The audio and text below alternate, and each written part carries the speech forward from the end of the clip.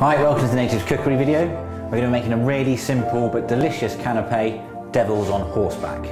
For this, all you'll need is some streaky bacon, some prunes, and a few cocktail sticks.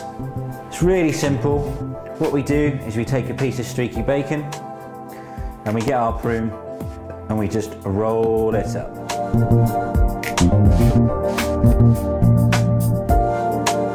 Then we just place a cocktail stick through it, just like that. Then we just repeat this process until we've made enough.